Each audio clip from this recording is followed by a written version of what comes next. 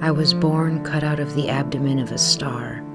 dropped from the heavens into chaos and form, sky stitched up with lace to lay me down into this body.